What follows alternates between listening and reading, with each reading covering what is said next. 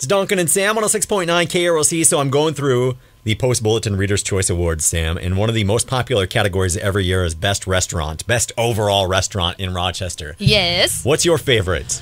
Let me tell you some of the new ones this year. So Casablanca over on 7th Street by Northgate, that's an, uh, I think that's a new nomination this year. Uh, They're all- awesome. They are really good.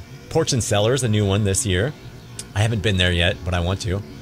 Uh, and then you got your usuals like Chester's and Mm-hmm. Pescara and Five West and Victoria's. And Did Nupa make the list? Nupa is not on the list. Are you sure? I'm sure. I just scrolled through all of them. Look again. I'm Nupa should definitely be on the list. Sam's very frustrated. Um, oh, that's see, that's what I'm trying every to say. day. No, not every day, but like when you want like different kinds of food, I would say Nupa for Yeah. Greek food. I would say Hunan Chinese by Kmart for Chinese food. So good.